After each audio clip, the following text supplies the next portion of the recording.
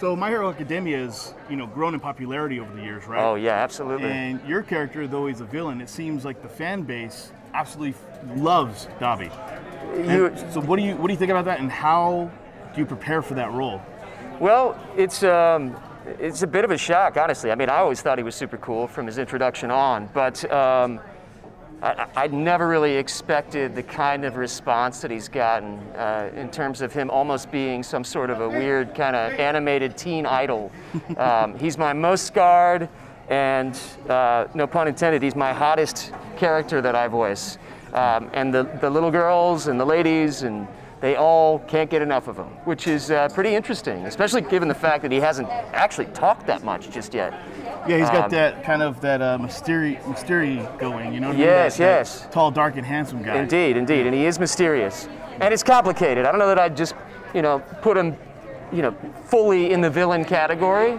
It's all about perspective. Yeah. Um, but I mean, honestly, I'm, I'm stoked. And as far as preparation, um, I don't do much other than get pretty excited when I have a session recording him. I mean, um, everything that I've done for this character is has been super cool. Like I'm always super stoked to be in the booth doing him.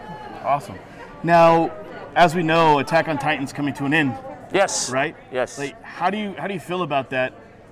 Being, you know, voicing the character for as long as you have, and now it's it's going away, right?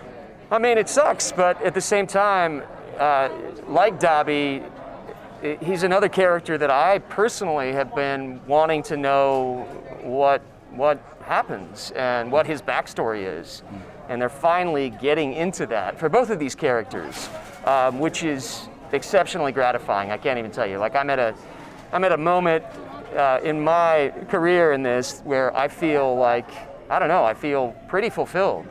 Um, I'm sad that it's going away, but at the same time, I can't wait to see that second half of that last season. Now, I don't read ahead in the manga.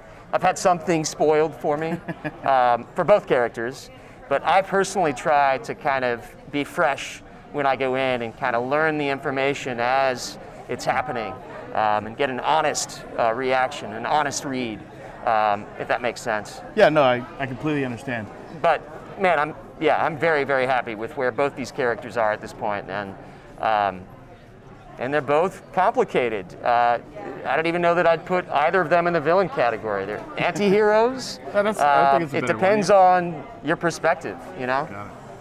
There's a you know there's a lot of uh, people here today at the convention that and the last two days now that have been here. I mean, it's just been flooded with fans for you, right? Yes. So I do know that a lot of people, you know, become inspired by you and want to become a voice actor.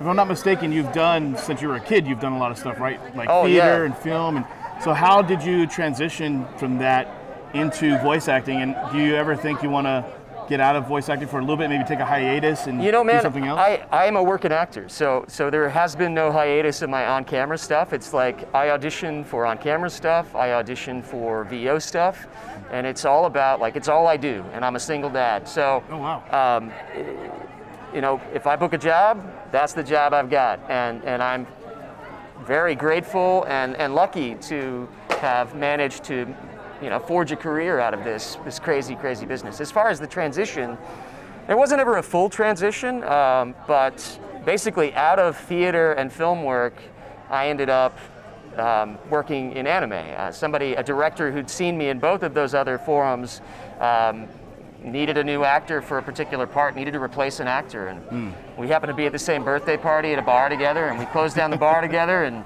the end of the night, he's like, "You know, I like your voice, man. I think you'd be a good match for this guy I'm getting rid of. Why don't you come in Monday and see if you can do this this ADR thing for anime?"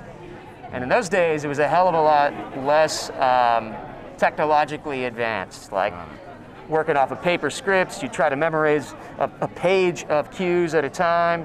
You're literally watching a VHS tape on a screen through the window of the booth you're in, and they're recording you with reel to reel. I'm aging myself, I know, but um, but I just happened to have a knack for it, and I think that probably came out of my theatrical background. Uh, in terms of being able to memorize things relatively quickly, and then the projection of your voice on Indeed, indeed, And, so, and yeah. and yeah, theater was good was good training for, for voice acting. But yeah, I continue to work in commercials and in films, and um, yeah, Theater's the only thing that's kind of fallen off. Got it. But Okay. it requires more time than anything else.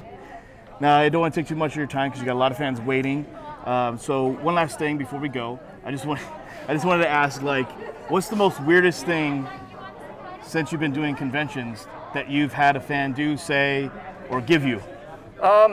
The strangest moment that I had was relatively early on in my career. I was in an anime called Darker Than Black, where I was the, the main character, uh, um, who was, I guess, uh, for lack of a better way of describing it, he was the closest that I'll come personally to ever playing Batman. So he was he was a masked contractor with these kind of electrical powers, and then by day he was, you know, a, a mild-mannered student. And so it was two characters in one. But Funimation did this thing for New York Comic Con when this anime premiered, where they hired about a dozen actors to cosplay as my character. And they did not tell me this. Oh, wow. So at some point, literally a dozen of my characters in Contractor in killer mode with the mask on approached me. And I ended up getting a bunch of photos. I mean, at first I was a little alarmed, right? But it Yeah, was yeah. pretty freaky, but also really badass. Nice. Awesome. Well, again, I appreciate you taking your time out today to, you know, interview with Yeah, us here at man. Geek Of Impulse. course. And, you know, we wish you the best on your future success and everything. Brother. So, thank you. Thanks so much. Keep watching.